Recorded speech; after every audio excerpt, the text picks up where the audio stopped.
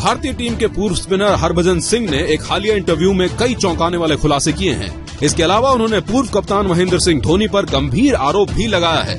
पिछले दिनों हरभजन ने क्रिकेट के सभी फॉर्मेट से संन्यास लेने का ऐलान किया था। इसके बाद भी लगातार कई मुद्दों को लेकर अपनी बेबाक राय ज़ाहिर कर रहे हैं। इस कड़ी में उन्होंने टीम इंडिया से बाहर किए जाने पर धोनी के रेस्पॉन्स को लेकर बड़ी बात कही है। हरभजन के इस खुलासे को लेकर क्रिकेट जगत में चर्चाओं का दौर शुरू हो गया है।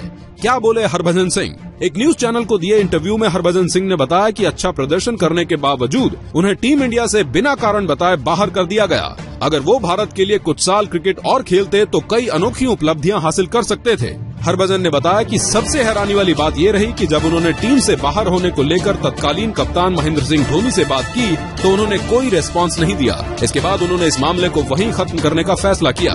हरभजन सिंह ने कहा कि उन्होंने 31 साल की उम्र में अपना 400वां टेस्ट विकेट लिया था। अगर उन्हें अगले 8-9 साल तक खेलने का मौका मिलता तो वो करीब 100 विकेट्स और ले सकते थे। हालाँकि उसके बाद उन्हें टीम में मौका नहीं दिया गया। हरभजन ने कहा कि भारतीय टीम से बाहर होने का कारण उन्हें आज तक समझ नहीं आया।